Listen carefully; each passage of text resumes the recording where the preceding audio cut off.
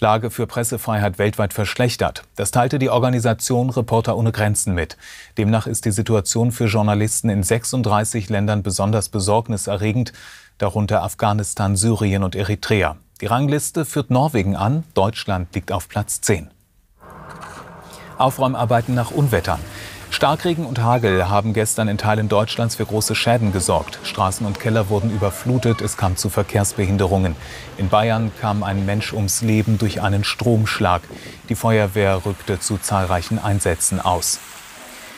Große Rauchwolke zieht über Berlin. Seit dem Vormittag brennt die Halle eines Metallwerks im Stadtteil Lichterfelde. Nach Angaben der Feuerwehr lagern dort Gefahrstoffe. Die Bevölkerung ist aufgerufen, Fenster zu schließen und Klimaanlagen abzustellen. Die Löscharbeiten dauerten auch am Abend noch an.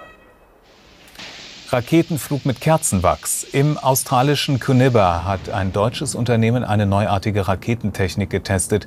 Erstmals kam als Treibstoff Paraffin zum Einsatz, der Grundstoff für Kerzenwachs. In weiteren Tests soll die Rakete die Erdatmosphäre verlassen, wie das Start-up aus Heilbronn mitteilte.